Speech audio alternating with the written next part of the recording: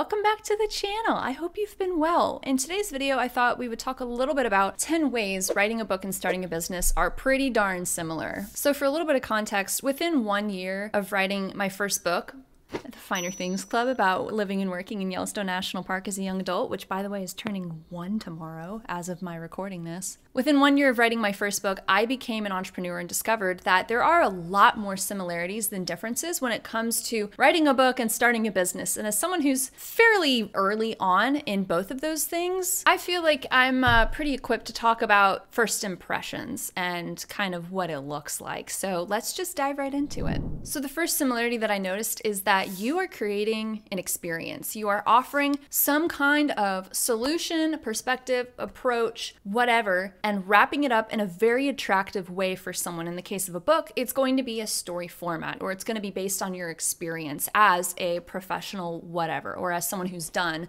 XYZ. And as a business owner, you're also talking about not just the perspective approach or solution, but maybe also how to implement it or how to execute on it or customizing some kind of deliverable or product or service or something for someone who really needs it in an attractive way that matches them where they're at. And I think that's the key is you're matching someone where they're at, whether in business or book format. The second similarity is that the hardest part is starting. And to be fair, I think this is true of a lot of things, but I think the hardest part about getting started is that a lot of people face imposter syndrome, especially when writing a book for sure. I definitely can speak more on that because a lot of people with a book idea, especially if it's a memoir of some kind or business book or, you know, some kind of nonfiction, something or other, because nonfiction is my jam, the recurring question that sort of rattles around in the back of their mind is going to be why is it worth writing something like this or doing something like this if a million other people have already written about it or done it? Like, what is so special about me? And the way that I think about this is that it's almost kind of, I'm, you know what? I'm going to deem this Cinderella syndrome because do you know how many iterations of the classic tale Cinderella there are? There are 10,000 movies. There are 10,000 books, there are 10,000, I don't know, maybe even comics or graphic novels or something. Like there's there's so many different iterations, but everyone has their favorite. Everyone has their favorite spin on it. And that's almost kind of how I think about it. And your spin is going to be your unique point, like your unique thing that makes you special or that differentiates you or you know, and, I'm going to be getting into this a little bit later, but it could be a quirk in your personality. It could be a habit that you have. It could be the way that you speak literally, like your tone or like your pronunciation, if you have an accent or something, I don't know. Or it could be the way that you describe something. Like Carl Sagan was known for communicating extremely complex quantum physics ideas in like super simple formats. I don't know if you've heard of like the wormhole thing, but to describe what a wormhole was to the average Joe who didn't know astrophysics from squat. He literally took a piece of paper, folded it in half, and shoved a pencil through it and was like, that's basically a worm, at least to my understanding. If I recall correctly, that's what he did. And that is what made him so special. So the hardest part is always going to be getting started with whatever it is that you're doing. It doesn't need to be so all or nothing. I think it's very okay to play around with it and have fun and experiment. The third thing is branding. People need to know how they need to think of you and what to expect as a result, in my own words, if I had to describe it. Branding is how you're communicating what you want to say, the way in which you want to say it, and who you want to say it to. People are going to have their own definitions of branding. That's just mine. Another one is brought up by Alex Hormozi. I don't know if you know who he is, but in case you don't, he's like a business guru dude, and everything that he does is for free, which I think is super cool. That's his unique point. And his definition of branding is considering how or what you want to be associated with. And I talked about this briefly in another semi recent video of mine where, you know, if anyone who buys Nike or Under Armour is going to feel like they're an athlete, anyone who buys Gucci is going to feel like they're super wealthy or something, right? Anyone like think about think about Lambos or Lamborghinis. I'm not a car person, but I'm I'm in tune enough to know that anyone who has a sports car like that has a social image of doing extremely well for themselves. So think about the kind of message you're emitting, the type of experience that you're providing, and the feel, especially that goes along with either of those things. And for you super data driven analytical peeps out there, all that stuff is really important because a big part of marketing is branding And both of those things have to do with understanding the psychology of your target audience member or of your of your target client or of whatever target person you are wanting to attract, right? You have to get into their mindset and meet them where they're at, which is why I say that branding is a pretty I think it's pretty essential to any kind of business or book that you create, right? In the case of a book, it's going to be a book cover. It's going to be, you know, any kind of website like, ooh, access this book portal. Like, you want there to be consistency in whatever it is you're putting out there. The fourth point, which I told you I was going to come back to touch on, is your unique selling point, and I would also say analyzing your competition. This is just what makes you special, what makes you different. And that's a question that you're going to have to ask when you're in business, and especially if you're writing a book, and especially so if you are traditionally publishing that book, if you're wanting to get an agent, if you're wanting to get the big, flashy, almighty book deal? These are questions that they're going to be asking, which I made a video like a year ago about 10 questions that every aspiring author needs to be able to answer. So if that piques your fancy, you should definitely go check that one out after this video. But think about what is unique about your perspective approach solution and or story and the reason that i say story is because as someone who's written a memoir that's an extremely important part of your book's marketing and branding and beyond memoir and just for a bit of a refresher in case you don't know memoir is zeroing in on a very particular time or experience in your life it's a drop in the ocean that is your life versus a biography, which is like the story of someone's life. An autobiography is you writing the story of your life. So when it comes to memoir, you have to think about what kind of story am I telling and why should anyone care about it, especially if I'm not known outside of my immediate circle. This can also look like doing your research. You're analyzing the competition, you're seeing what the landscape looks like, you're seeing how saturated or undersaturated it is, you're seeing what questions people have that aren't being answered. And this is going to look different for both business and books. But in the case of books, because I am very knowledgeable in books, this is going to look like researching comp titles. Now, there's all kind of debates on how effective this is or if it's really necessary, but a lot of people have to do this kind of research if they're pursuing a traditional book deal, if they're wanting to work with a press of some kind, um, especially if it's mid-size or, or even one of the big five, which is Penguin Random House, HarperCollins, Hachette, Macmillan, and Simon and Schuster. You're basically seeing what other books are similar to mine out there that have seen success and continue to do well but aren't necessarily New York Times bestsellers. That's especially important if you're a debut author doing your research it's pretty ballsy to say that I'm going to compare myself to this recurring New York Times best-selling author because I'm writing a similar book to theirs. It's not really going to fly if you're doing that kind of research for professionals. Either way, I think it's a good exercise to do, whether you're wanting to write a book or start a business or do both or have one kind of feed into the other. It's just it's kind of like a 101 type of thing that you have to do research with any kind of new thing that you're tapping into. It's like you wouldn't move to a new town without doing your research on the area, right? I mean, in a perfect world. And lastly, there's also a credibility factor too. If you're going to start a business, if you're going to write a book, especially if it's nonfiction, you have to think about why are you the one to do it? Why why is it you that is going to be writing this story or starting this business or answering these questions? Is that these can take on personal or professional answers. Why am i doing this? Why me? Like if you're addressing imposter syndrome yeah, you know, that's probably a more personal answer that you're going to want to give to that question. But if I'm asking what's so special about you from the perspective of a buyer or a client or even a community member, that's going to be more of a professional answer because they want to know like, what is it that I'm going to expect? How should I think of you? And why are you the one to talk about it, right? So you have to think about what kind of experience you have, what kind of maybe educational background you have, what kind of clientele you work with. This can take a lot of different forms. You don't I don't want you to think that you have to have some kind of prestigious background to do anything. Experience I think, in my opinion, I think it's so much more valuable than credentials, in my own opinion. That might upset people or offend people, but I think that's what people care about the most. It's like you can be a New York Times bestseller, but if you don't know how to talk about how to write a book or something, like it's gonna be a bit harder to click with people, I feel like. Fifth, you need to understand your target audience. And this goes pretty hand in hand with what I was saying about researching your competition. You need to think about who you're gonna target, what attributes they have, how you're gonna access them, and use all three of those things to inform your presentation or the format in which you're presenting your perspective approach solution and or story when you're considering who specifically to target this is where you're looking at similarities in demographics in habits in challenges in behaviors it can take a lot of different forms but you want to be as specific as you can because, like the old adage goes, there's riches in the niches.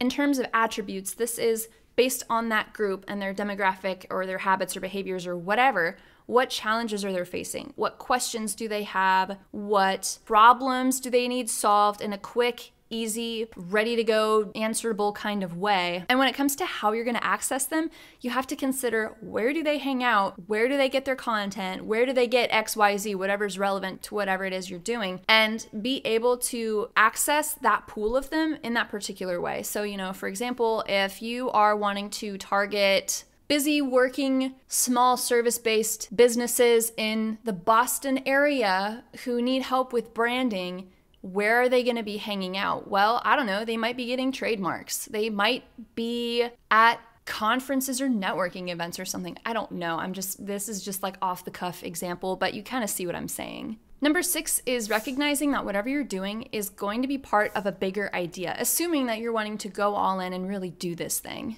It's never just about the book, it's never just about the answer. You are using that as almost like a hook or like a piece to kind of to reel people in and use that to create a deeper movement or experience or relationship of some kind, right? Give people the answers that they're dying to know, the ones that they've been walking through the desert trying to find the oasis that's going to quench their thirst.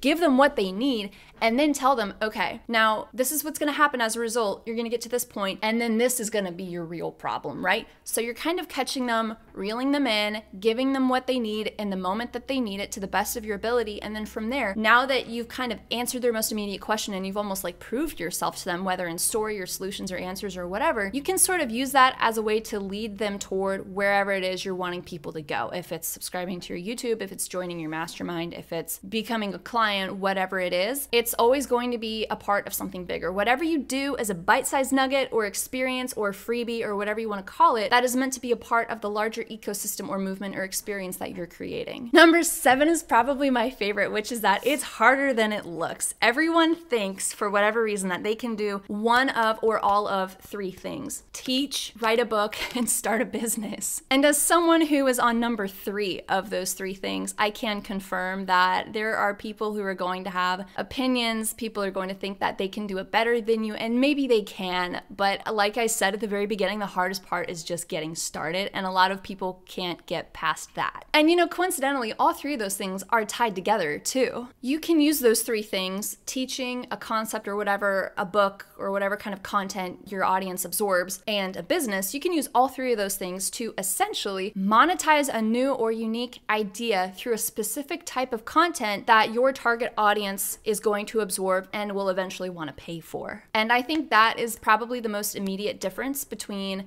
a business and a book is that if you write a book, it's instant credibility. If you're starting a business, that takes a really, really long time of of either outworking your competition, providing some kind of better or more efficient or more unique system or answer or something for whatever it is that you're offering or whatever question that they have, and and just putting in a ton of work very consistently versus a book. It's all very front loaded. If you just get the first draft on paper, there's a lot that you can do with that and you're better set up to finish it. And when you do finish it and it is published and it's ready to buy and people can purchase it off Amazon or wherever, you can say that you're an author or a best-selling author. Like if you have a book in the world, it's instant instant credibility to say that you are an author or a best selling author. Number eight is that very few of these things do well. The ones that you hear about the most, whether book or business, I feel like are kind of the exceptions, and I have statistics to prove this. The US Bureau of Labor Statistics says that about 45% of businesses fail during the first five years. And the Synergy Whisperer says that out of every 1,000 people who start a book, only 30, 30 actually complete it. Now, this isn't to say that what you're doing or what you're wanting to do is worth pursuing, but it does have to mean that you need to consistently show up, even if you are the only person in the room that you are showing up for. I think that is probably the mark of consistency consistency and hard work and really being true to your craft or whatever it is that you're wanting to do. Even if it's just yourself, you are proving XYZ to yourself, you're showing up for yourself, does that still make showing up at all worth it in the first place if it's just you? Because you're gonna have to do a lot of vouching for yourself. You're gonna have to work through a lot of your own personal and professional issues too, but mostly personal because anything that you're bringing to the table is going to show up in your work. I can't tell you, I'm not trying to throw anyone under the bus, I promise, but I can't tell you how many people I've worked with and for that didn't know how to communicate or didn't know how to handle critiques or constructive feedback or criticism. There are so many people that think that doing the thing is what really matters, and it is, but it's also the landscape or the context in which you are presenting it, right? So it takes a lot of work to not just do the thing, but also make it sustainable and effective and attractive. This doesn't mean that it's not worth pursuing at all, but it just means that if you truly believe that this is something, you have to prove it to yourself first before there's other people involved, in my opinion. Number nine is that either books or business or both need to benefit someone. Of course, it needs to benefit someone. If they're paying for it, they need to get something out of it, whether it's a solution or entertainment or both. And I really like what Stephen King has to say about this. I, there was a quote that I had in mind when I was making my script, but it's this isn't the exact quote but that I was thinking of, but it's in the same vein. And it's that your stuff starts out being just for you, but once you know what the story is and get it right, it belongs to anyone who wants to read it or criticize it. And I think that's very well said. And that came from his book called On Writing, which I highly recommend reading for anyone who wants to become an author or, you know, pursue publication. I really liked it. It was genuinely an amazing book and it was sort of like half hybrid guide, half hybrid memoir. So that came from that book. But anything that you do it starts with you, but it has to end with the person in mind. Well, a book generally starts with you and ends with the reader. And I feel I'm still new to the business world, but I feel like the business, yes, do what you gotta do, get through season one of kind of playing around with it and experimenting with it. But you always have to have the other person in mind. And whether that's the audience itself as a collective or whether that's the individual, I personally think it's great to define both. You need to be thinking about how is this going to be useful to someone whether how, how is it going to be worth their time their energy their bandwidth their money their commitment? I feel like any value has to outweigh the investment in, in my opinion. If it's a book it better be worth it in the end. There better be a payoff. And believe me, I read plenty of books that I gave hours of my time to that had a very unsatisfying ending. And I personally deem a book's quality by its ending, whether fiction or nonfiction. And when it comes to business, you know, it's like, okay, if I pay for this, am I going to get why? If you have a money back guarantee and it doesn't work out, honor that money back guarantee.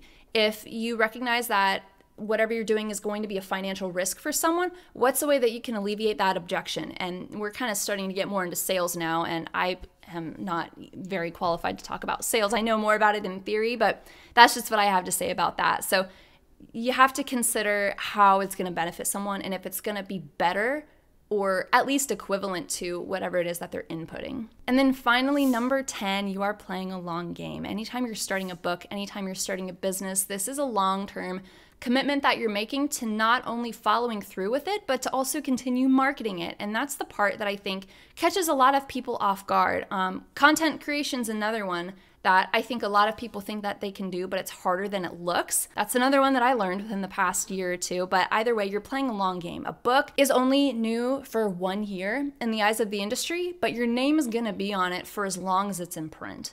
Your name, your credibility, your reputation is going to be tied to whatever it is you're putting out there. And you have to think about how that's going to influence your marketing or how that can play into the perception or the kind of experience that you're wanting to provide through whatever it is that you're making. But anything that you make that's worth following through on and showing up for and being consistent with is going to require a long game. And if it ends up being a shorter game, that's fine. At least you can say that you gave it a fair shot, that you were in the arena doing the thing, trying your best and it didn't work out, but you learned a lot along the way, right? Whether it works out or it doesn't, it's worth treating it in your mind like it's a long term investment. You're planting seeds, right? With a book, with a business, whatever. Maybe it takes off immediately, maybe it doesn't. But I think patience and consistency are the two virtues that are going to be exercised incredibly heavily, especially if we're thinking about those statistics about 45% of businesses not panning out in the first five years. So that was a lot. I went in depth more than I thought I would with some of those things. So apologies for this video being slightly longer than intended, but I did think it was kind of a cool thing to talk about to kind of itch the scratch of both authors, writers, readers, and business people and entrepreneurs alike. So there are more similarities than differences when it comes to those two things, I think, and both of them do sort of feed into each other. So if you like this kind of content, consider liking and subscribing. It lets me and others know that this video is worth watching watching and you got something out of it. Tell me if you found this useful. It's a little bit different from the other stuff that I talk about. I talk a lot about the stuff people don't know about books and the business of books and marketing and stuff like that, but I'm wanting to lean a little bit more into the marketing side of things with books and business. So tell me if this resonated with you or if you felt like you got something out of it. Otherwise, feel free to leave your thoughts down below. I really love getting conversations going